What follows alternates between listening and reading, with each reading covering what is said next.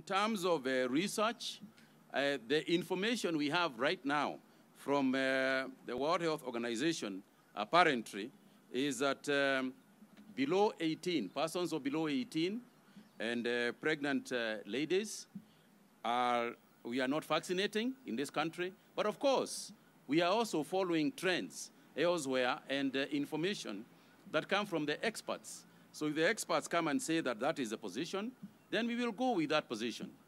Um, guy on the issue of uh, the April arrival, we believe we are still pushing, and we are working with India on this uh, particular issue.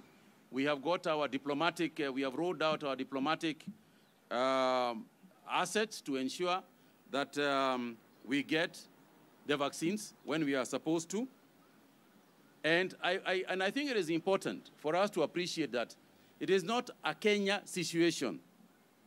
In this particular instance, is actually an Africa-wide situation.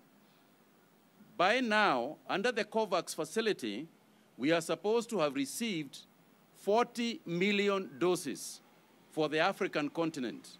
Currently, we have already we have we have we have we have just received 12 million doses.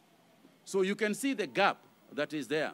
And uh, our appeal, not just to India, but to other countries, is that we reduce vaccine nationalism so that uh, there is fair and transparent uh, uh, distribution of uh, vaccines. So we are, we are working on this. We are working with the, with the, with the Ministry of Foreign Affairs in Kenya, working with the, the Indian uh, embassy here in Nairobi to ensure that uh, we get what has been promised. Because on the basis of the promises, we make certain plans. We start vaccinating on that basis.